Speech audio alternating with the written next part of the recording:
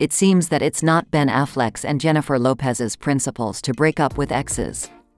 It turns out that Lopez was able to make friends with her husband's ex-wife, actress Jennifer Garner. J. Lo managed to build a warm relationship with her husband's ex-lover.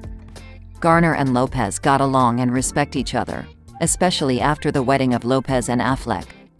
The stars even plan to meet on Christmas holidays and are already choosing gifts for each other. And at this point, like the video and do not forget to subscribe to the channel, it will help promote it. This was reported by insiders of Hollywood Life. This year they are preparing to exchange gifts for Christmas. They have a great understanding. Through children, they feel real mutual respect and gratitude, the source said. Another insider also reports that now the friendship between the celebrities has really become much deeper. J. Lo is very grateful that over the past few months her friendship with Jen has become much stronger. If you like this couple please like the video.